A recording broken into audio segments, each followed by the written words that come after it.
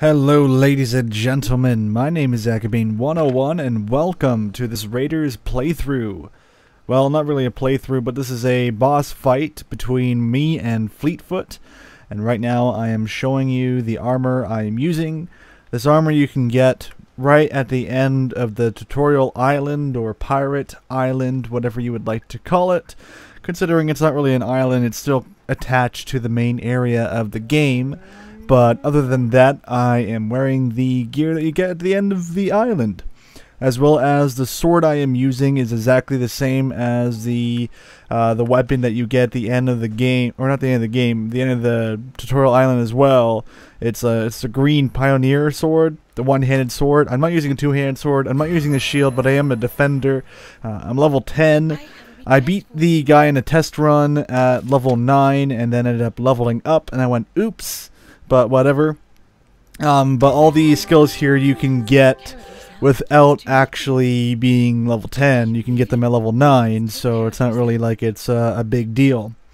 But anyway, if you don't know what RaiderZ is, it's a massive multiplayer online role-playing game, very similar to that of TERA and Guild Wars. Uh, it is a free-to-play game, so you guys can pick it up right now and go play it as well. Um, but defenders usually plays played with a shield, but I have been playing the entire game without a shield because I feel like they're completely useless in the game.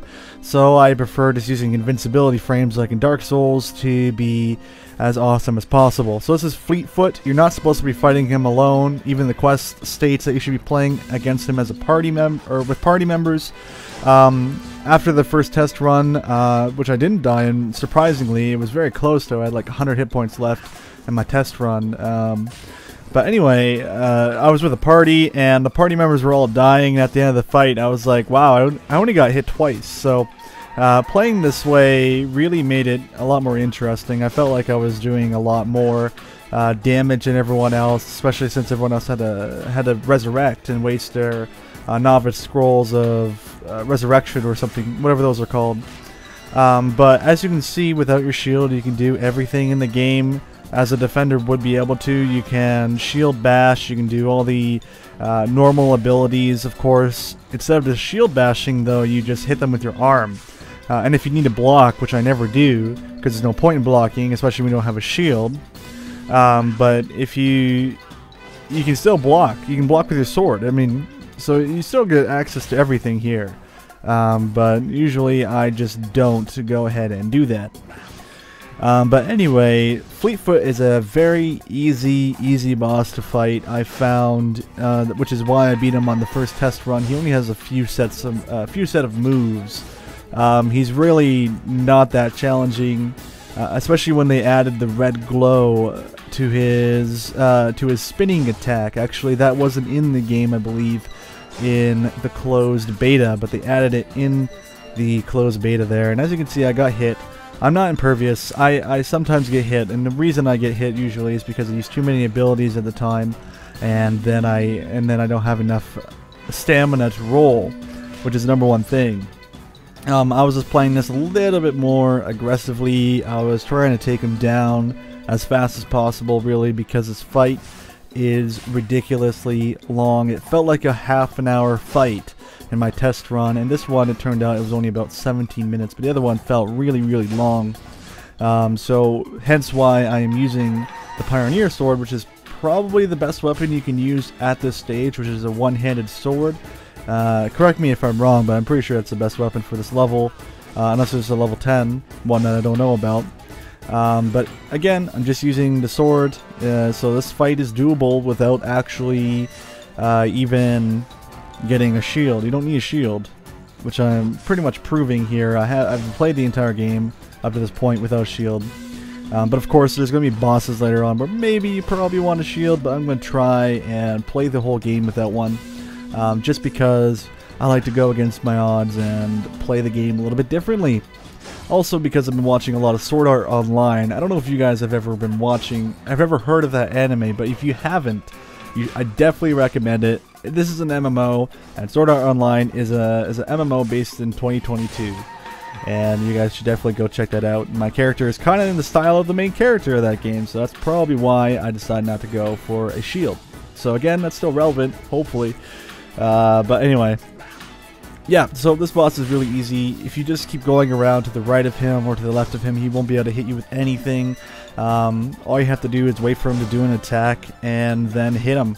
That's all you have to do. Every enemy is exactly the same in this game. I found um, where if you just get behind them and wait for them to do their attack, they are completely open. Uh, and there's another time where I got hit again because I was a little bit foolish, used way too many abilities at once, and didn't have enough stamina to roll out of the way, which gives you the invincibility frames, which is extremely important. You need those invincibility frames. If you don't, you're dead. You're you're going to get owned by this guy. This guy will destroy you. He will eat your soul, and he will rip your heart out, and he won't even care. It Doesn't matter if this is the beginning of the fight or the end of the fight, he acts exactly the same through the whole fight. He's identical. He doesn't. It's not like Monster Hunter where you're fighting a Rathalos, and as you're wearing the Rathalos down, he either gets really pissed off at you, starts huffing and puffing and beating the shit out of you because you've been hitting him so much, and then at the end of the fight, he's been so worn down that he's dragging himself around the map He's not even able to cast fireballs anymore because he's just been so wounded uh, that he needs to get out of the area and go to a new place. And in a game like RaiderZ, which is an MMO, they can't really do that. Actually, this area is very limited. It's not multiple areas like in Monster Hunter, of course, um, for this specific fight because it is an instance battle, so I guess you can't really have a monster retreat. However, that would be kind of impossible either way because that means you have to have all these players that are chasing Fleetfoot in the other world, the uh, the world where all the players are in it, uh, not just a party, uh, which would be an instance anyway. But in the in the other world, the one where everyone's playing in it, you wouldn't want a monster running from one area to the next. Uh, I think that would be a little bit impossible or really annoying and irritating for players to go ahead and try and get that to happen. Uh, but again, that is the limitations to MMORPGs. Uh, however, I would have uh, liked to have seen more moves by Fleetfoot. I would have liked to have seen him be worn down as he got to really low health. Um, but unfortunately, he just does the same thing over and over again until he gets to around 25% health. And you'll see that where he just summons three of his wolves. And in my test run, the wolves really scared me. I was like, how am I gonna, how am I ever gonna do damage to him if I have all these wolves here? And I actually thought that if the, the wolves get spawned, that yeah, once you kill them, they'll just get respawned again. However, that didn't seem to be the case. When I accidentally killed the last dog, I killed two of them, and the, I left the last one alive, but I kept hitting him by accident whenever I went for Fleetfoot. So I ended up killing him, and I thought my life was going to be over because he's going to summon three more dogs. I was at 100 health, uh, and my life was almost ending um, because I did I, I, I, strictly made it so I couldn't use any potions. Um, as you can see, though, I am using my own skill, which allows me to get health back. One of the nice things about Defender, I didn't even realize Defender had that ability, but made the game way easier the moment I got it. Uh, it made this boss fight like three times as easy than uh, it originally was going to be. Um, however, it's just it's just how the game plays out. Once you know all the moves of your, your opponent, especially when it's as easy as Fleetfoot, you're probably going to be okay. Um, but you have to be a little bit careful because if you take him too lightly, he will kick your ass and your life will be over. Uh, so you have to treat a, you have to treat this game when you're fighting bosses like this one on one, which are, are not supposed to be versed one on one, especially at level 10. Uh, I believe TotalBiscuit went up against him at level 15 and got his ass whooped. He got uh, his ass whooped, man. It was hilarious. Um, but yeah, uh, you're not supposed to fight this boss at level 10. It was just kind of a fun thing to do. Uh, maybe kind of like how in Dark Souls you would uh, go through the game as your lowest level possible. Except for when you play this game, you can't. You can probably get here uh, without leveling, but I don't know how that would work exactly uh, being a completely new character. I don't even know if you leave the beginning island uh, before you finish it. Um, so that was uh, that was the only thing. Like I couldn't really be a lower level. Again, I said I was level nine when I fought him in my own instance, and I and I got enough experience from him to level to level ten. And I was like, oh well, that kind of sucks. I really wanted to show off the fight at level nine, my lowest level I possibly could be, uh, to fight Fleetfoot. But uh, oh well, it's not really the biggest issue uh, in the world. Um, also, you may be wondering why am I not speeding up the fight? Uh, the only reason I'm not speeding up the fight is because I don't want people to think that there's some sort of uh, creative editing going on. Um, this happens a lot in Dark Souls playthroughs as well. It even happened in episode 1 of my series because I was just trying to speed up the, the video, uh, but I did mention I died. Uh, however, uh, a lot of people will edit the video as if uh, you know they they soloed it, you know, and never got hit by it, or uh, you know do a whole playthrough of uh, the fight uh, and and like seamlessly cut and edit the video together uh, to where the character is in you know the exact same spot and all the enemies are in the exact same spot or whatever, uh, and, and the person could just edit it. So if he died and came back to the fight, you know he could he could go ahead and just continue the fight from there and pretend like nothing actually happened. Uh, but yeah, I don't do that. So I wanted you guys see, to see the whole fight. Uh, anyway, here you see that the, the dogs are here, and they can be a little bit of a pain. Um, they're not really hard to evade, but they make it very hard to go back and start fighting Fleetfoot again. So you see me just continuing my same routine of just going around in a circle uh, to get around Fleetfoot uh, and do whatever damage I can. And if I hit the, the, the other wolves, then that's fine. Uh, it's not really a big deal considering the, the wolves are pretty weak. Actually, uh, it would be pretty cool though to see Fleetfoot uh, whenever he does his spin attack or any of his attacks.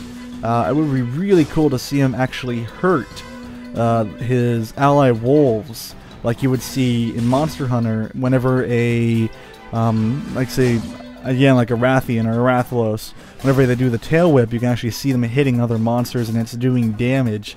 Um, honestly, that would be very cool to see uh, and have in a game such as RaiderZ. It would probably really improve the experience to have uh, enemies uh, able to hit other enemies even if they are technically allies. Uh, of course, there is situations where wolves uh, will go ahead and start eating like livestock and stuff like that in the game, which is pretty cool. Uh, I do like that. I want to see more of that in the game, of course. Uh, even though the game is officially released, and I'm sure there's a lot of new updates that are going to be coming out. Uh, currently, I think the Thanksgiving update is out right now, so uh, people can go and experience that. The Halloween update was kind of cool. You got to wear a costume, but unfortunately, the costume disappears after seven days or whatever uh, when the Halloween um, update ended. And that's kind of one thing I didn't really like about it. Uh, I, I, wish that uh, it was kind of like Final Fantasy XI, where you can you can see who's been playing the game the longest by who has the most festival items uh, for every year. In summer uh, and winter, they would have these different um, things that you could do where you would get clothes for your character to wear, and they would all be different each year. So it'd be cool if RaiderZ did the same thing, and you got to keep the items on you, um, because then you could show them off to the people that unfortunately weren't there at the time. So it would be neat to see that happen. Don't know if any of the RaiderZ viewers or uh, creators will ever watch this video. I kind of highly doubt it. Uh, but yeah, that's just my my two cents. Especially since this boss fight's going on very long. That's kind of why I went on that tangent because, damn, it takes forever to kill Fleetfoot alone. He again, he's not a hard boss.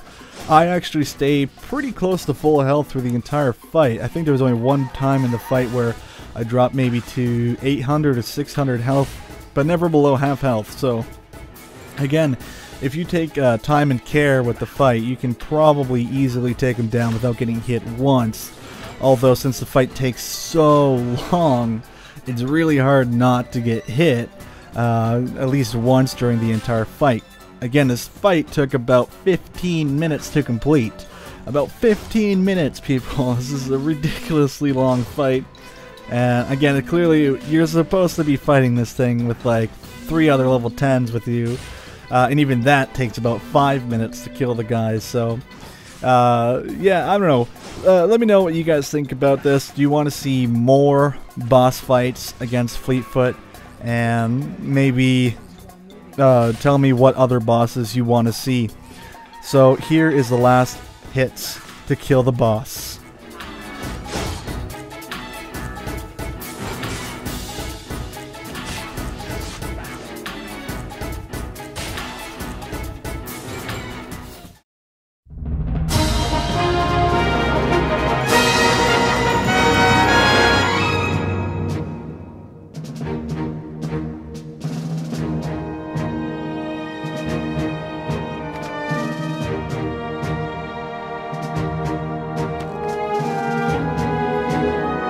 So that, ladies and gentlemen, is the boss fight for Fleetfoot. I hope you enjoyed.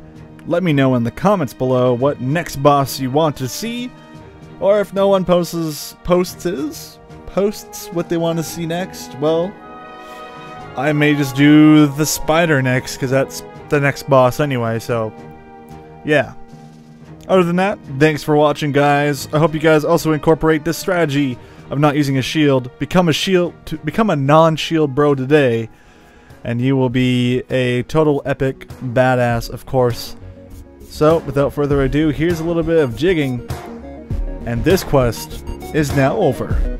I will see you guys in the next episode.